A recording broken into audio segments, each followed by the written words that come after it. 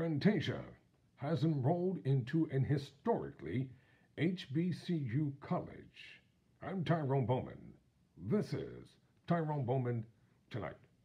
According to BET News, former American Idol superstar Fantasia Barrino Taylor is heading back to school. In a heartwarming clip posted to her social media page earlier this week, the Grammy Award winning singer and songwriter revealed that she has officially enrolled as a student at Central State University, a public historically black institution located in Ohio. The Free Yourself singer will be studying business with hopes of sharpening her sword and bettering her craft. During an interview with People, the 38 year old shared that she wanted to break generational curses and cited her family as her inspiration. When it comes to my family, my girls, my children, I want to show that no matter what she's been through, you can always get back and go after it again. And that's what I'm doing. The I Believe singer explained. According to the outlet, the R&B singer dropped out of high school but eventually re- received her GED in 2010.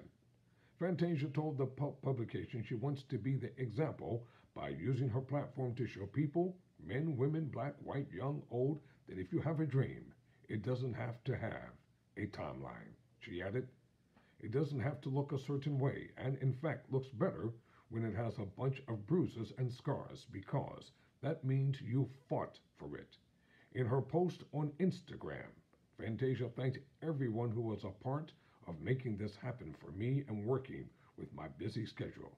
And a special thanks to her Sigma Gamma Rho Sorority, Inc. sisters. The star became an honorary member in 2022.